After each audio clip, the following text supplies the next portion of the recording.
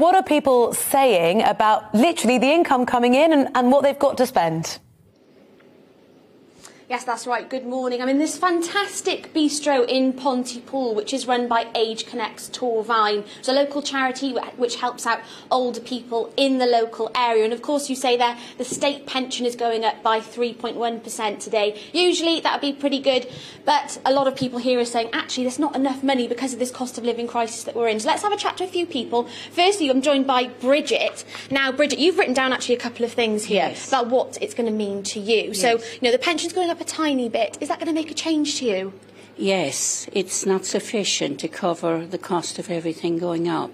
And the utilities have just gone up and they're going up again in October.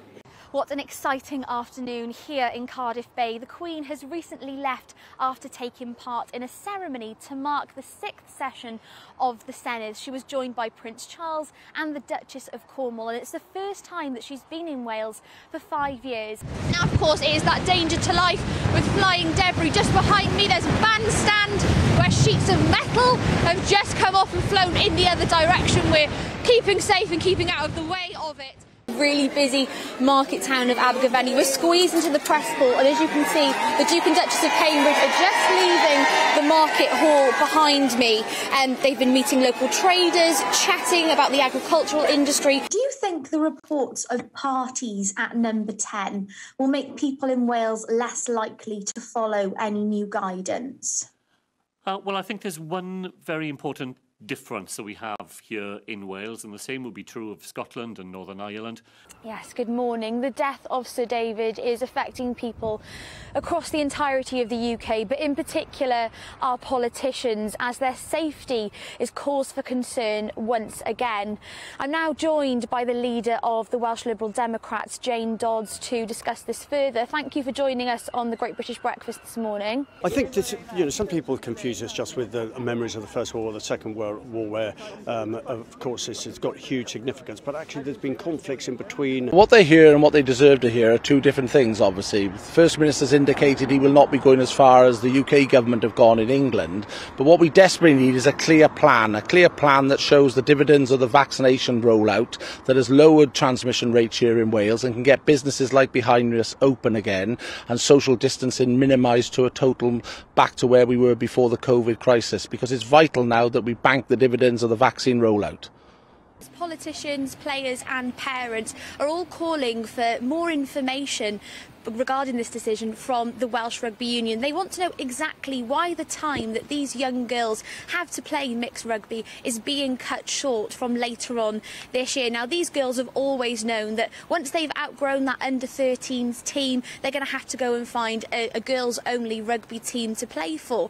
However, they're upset that this decision has been made on their behalf prematurely without their consultation. Now, the girls and their families say this decision hasn't been made based on their height, their weight, their strength, their age, or even perhaps uh, for safety purposes. They're concerned that this decision has been made based on their gender. Now, the, co the committees of rugby clubs across Wales were consulted on this decision, but not the girls themselves who are out on the pitch playing. Now, the member of the Senedd for Bridgend and Porthcawl, Sarah Murphy, is one of these uh, many people who are asking the Welsh Rugby Union for more information on this decision making. She's heard the concerns from a number of children in her constituency who play for mixed rugby teams. Decisions shouldn't be made about a group, whether that's children, whether that's based on gender, whether that's based on any protected characteristic that will impact them without getting their views on that and their feedback on that. So when you were in Glasgow, you said to me that you you met a couple of people who were actually from Wales themselves, and they were sent all that way to receive help and support. What were kind of their backstories? How did they feel about being that far away? I think it was the same as me. Uh, although it was COVID, and although visits probably like weren't possible at the time, like it's it's so hard being so far away, and it's not. You have to sort of if you're coming from a hospital, you don't have a lot of belongings, so you're going with basically nothing to a place where you may never have been, people you don't know, and it, it's just really, it's quite scary. We're here down at a rugby club. I don't know where better else to get the atmosphere and soak it all in. I've come down to my local Llandaff RFC to have a chat to a couple of fans, a couple of players about how they feel about today's game and the tournament as a whole. Let's have a, a quick sit down. We're joined by lots of members of Llandaff RFC this afternoon. Thank you so much for joining us on GB News this afternoon.